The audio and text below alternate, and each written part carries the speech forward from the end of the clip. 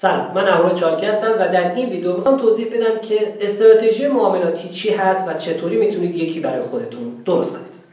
استراتژی معاملاتی چیه و چطور ساخته میشه؟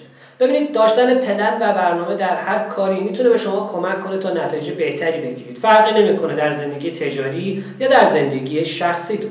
در معاملات در بازارهای مالی هم همینه. استراتژی معاملاتی در واقع اون نقشه راهی هستن که به شما کمک می‌کنن تا بتونید پورتفولیوی سودآور داشته باشید. اما اینها تنها کمک های داشتن یک استراتژی معاملاتی نیست. استراتژی معاملاتی به شما کمک می‌کنه تا یک چارچوب داشته باشید برای اون چیزی که دقیقا تو ذهنتونه و می‌خواید بسازید.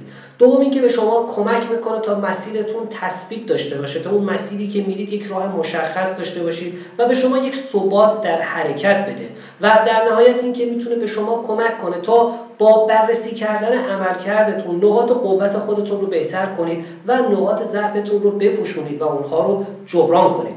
بیایید یک به یک بررسی کنیم مراحل مرحله به مرحله برای ساختن استراتژی معاملاتی که شامل سه مرحله اصلی میشه.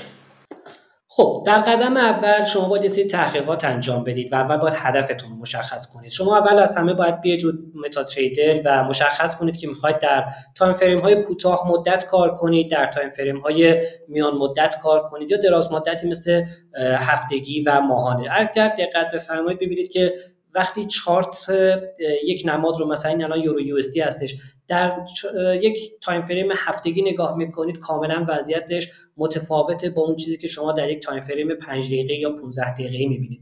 بنابراین اول از هر چیزی شما باید مشخص کنید که در چه تایم فریمی می‌خواید کار کنید. می‌خواید دراز مدت کار کنید یا معاملات کوتاه مدت کار کنید.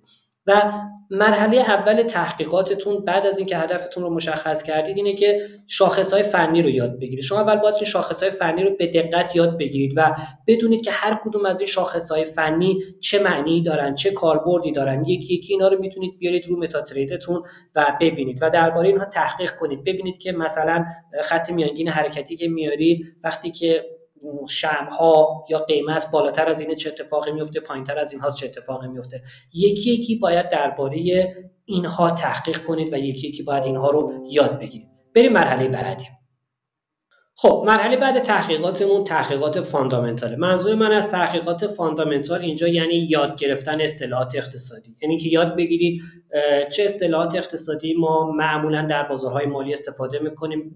معمولا شما می‌تونید این اصطلاحات اقتصادی رو به از تقویم اقتصادی ببینید. ولی اینکه یاد بگیرید هر کدوم چه معنی دارن و چه تأثیری دارن راه های مختلفی برای یاد گرفتنش هست. شما می‌تونید کتاب های مختلف بخونید می‌تونید از رو وبسایت های مختلف این اصطلاحات رو یاد بگیرید. اما یه راه حل خیلی ساده ترش هم این هستش که هر کدوم از اینهایی که می‌خواید بدونید رو مثلا PPI می‌تونید روش کلیک کنید و یه صفحه باز میشه. در اون صفحه که باز میشه می‌تونید معنی اون اصطلاح رو با دقت بخونید و ببینید که اون اصطلاح چه معنی برای شما میده. بعد از اینکه معنی اون اصطلاح رو متوجه شدید می‌تونید برای خودتون یادداشت کنید یا به خاطر بسپارید که این این داده اقتصادی در چه روزهایی معمولا اعلام میشه و تاثیرش می‌تونه رو معاملات شما به چه صورت باشه. اگر در بازار ارزها معامله می‌کنید چه تأثیری می‌ذاره؟ اگر در بازار سهام معامله می‌کنید چه تأثیری می‌ذاره؟ و اینها رو باید یاد داشته باشید. یعنی برای ساختن یک استراتژی باید بدونید که چه نمادی تاثیر می‌گیره از چه داده اقتصادی و اینکه کدوم های فنی به چه صورتی کار می‌کنن و برای اون نمادی که شما کار می‌کنید و اون تایم فریمی که شما کار می‌کنید کدوم شاخص فنی بهتر استفاده بشه. این میشه این مرحله از تحقیقاتمون. حالا بریم مرحله بعد که می‌خوایم ببینیم از این تحقیقاتمون چطوری استفاده کنیم. خب مرحله بعدی مرحله که ما باید از اون چیزهایی که یاد گرفتیم تست کنیم. این شما حتما و حتما اول از همه روی یک حساب معاملاتی آزمایشی تست کنید. روی این حساب آزمایشی میاید و ما تا اینجا مثلا یاد گرفتیم که شاخص های فنی یعنی باید یاد گرفته باشیم شاخص های فنی رو و کاربرد هر کدوم رو. فرض می‌کنیم که ما میانگین حرکتی رو یاد گرفتیم و الان وارد صفحمون کردیم. میانگین حرکتی 20 روزه و 50 روزه رو 20 دوره و 50 دوره رو و همینطور RSI رو یاد گرفتیم که این RSI چی هستش. خب بر اساس اون چیزهایی که یاد گرفتیم می‌گیریم که اگر قیمت زیر میانگین های حرکتی حرکت می‌کنه و وقتی RSI یعنی وقتی زیر میانگین حرکتی می‌کنه روند نزولیه و RSI هم در 40 sell از این روند نزولی داره حمایت می‌کنه. بنابراین ما می‌تونیم در این شرایط تصمیم بگیریم که در time frame مثلا 5 دقیقه یا در time frame 30 دقیقه ما اگر می‌خوایم position ی رو خرید کنیم یا فروش کنیم اون position باید یه position فروش باشه. میایم اینجا از این قسمت معاملاتمون رو انجام میدیم و یک position مثلا یک lot فروش رو انجام میدیم. خب اینجا شما می‌تونید ببینید این position تون که باز شده و میزان فروشی که انجام دادید حجم فروشتون. خب حالا اینجا شما باید stop و take profit هم براشون مشخص کنید که در ویدیوهای آینده ما در مورد stop و take profit و نحوه مشخص کردن اونها صحبت می‌کنیم. در این ویدیو ما می‌خوایم مسیر و روش تهیه یک استراتژی معاملاتی رو صحبت کنیم. خب حالا بریم مرحله بعد. ببینیم بعد از اینکه این position مون رو گذاشتیم این position مون رو باز کردیم مرحله بعدی چی هست و چی کار باید بکنیم؟ و اما قدم نهایی از ساختن یک استراتژی معاملاتی. تا اینجای کار ما شاخصه فنی رو یاد گرفتیم. هدفمون رو مشخص کردیم که می‌خوایم در یک time frame کوتاه یا یک time frame بلند مدت معامله کنیم. اصطلاحات اقتصادی و تاثیر اونها در بازارهای مالی رو یاد گرفتیم. اونها رو رفتیم روی یک حساب دمو. بر اساس اون چیزهایی که یاد گرفتیم یک روش معاملاتی برای خودمون درست کردیم. در حساب معاملاتیمون پیاده کردیم. حالا این تق... این چارتی که اینجا می‌بینید چی؟ این چارت چارت یادداشت برداری و استفاده اونه. ببینید در طول هفته بر اساس اون استراتژیایی که ساختید یه اسمی برای خودتون می‌ذارید. برای خودتون هر اسمی که دوست داشتید. این چارت شامل چیه؟ شامل تاریخیه که شما معامله کردید. نمادیه که شما معامله کردید. مثلا طلا بوده S&P 500 بوده خرید بوده یا فروش. قیمتی که در اونجا خرید فروشتون رو انجام دادید. stop loss تون چی بوده؟ take profit یکم دوم و سومتون چی بوده؟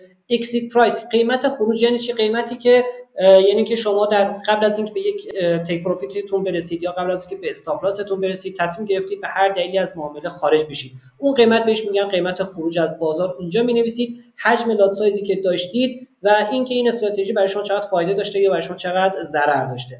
و در بخش توضیحات هم اینجا می نویسید که این استراتژی که انجام دادید اسمش چی بوده. شما آمدید یه سری روش های معاملاتی یا سری استراتژی ها برای خودتون ساختید براش یه سری اسم گذاشتید و بر اساس اونها اومدید یه سری position باز کردید و بستید. حالا در انتهای هفته بعد از یک هفته دو هفته اینا رو در طول هفته که معامله می‌کنید در انتهای هفته میید چیکار می‌کنید؟ اینا رو میید بررسی می‌کنید. می‌بینید که کدوم یکی از این استراتژی ها برای شما بهتر بوده و با تجربه ای که به دست میارید می‌تونید اون استراتژی رو برای خودتون به عنوان استراتژی غالب معاملاتیتون انتخاب کنید. این نوشتن رکورد ها و یادداشت کردن و بررسی کردنش بسیار بسیار مهمه که سعی کنید حتما درست انجام بدید. و سرانجام. فراموش نکنید که تهیه یک استراتژی معاملاتی واقعیت اینه که کار ساده ای نیست. برای اینکه بتونید یک استراتژی معاملاتی خوب درست کنید یک استراتژی معاملاتی که به شما فایده خوبی بده باید شکست های زیادی بخورید و این شکست هاست که به شما در مسیر راه و ساختن تجربه کمک می‌کنه. باید حساب های معاملاتی آزمایشی ایجاد کنید و با ابزارهای مختلف و روش های مختلف اون استراتژی هایی که ایجاد کردید رو تست کنید. بعد از اینکه مطمئن شدید کار می‌کنه وارد دنیای واقعی وارد یک حساب واقعی با پول واقعی بشید. در ابتدا هم واقعیت اینه که برای کسی که شروع می‌کنه بهتره که از استراتژی هایی که دیگران ساختن و هستش. ما بهش میگیم they are already exist in a market. اونا هستن الان در بازار و دیگران هم استفاده می‌کنن. می‌تونید از این استراتژی ها استفاده کنید. و وقتی که تجربه کافی به دست آوردید می‌تونید کم کم این استراتژی ها رو برای خودتون در مرحله اول شخصی سازی کنید. باز که قدم های بیشتری پیش رفتید تجربه بیشتری به دست آوردید بعد از اینکه به همه شاخص های فنی و اصطلاحات اقتصادی آشنا شدید بعدا می‌تونید استراتژی مخصوص خودتون رو بسازید. استراتژی مخصوص خودتون رو طراحی کنید. تا اون موقع سعی کنید که از این استراتژی ها استفاده کنید. این بود وضعیت یا نحوه ساختن یک استراتژی معاملاتی امیدوارم به درتون خورده باشه.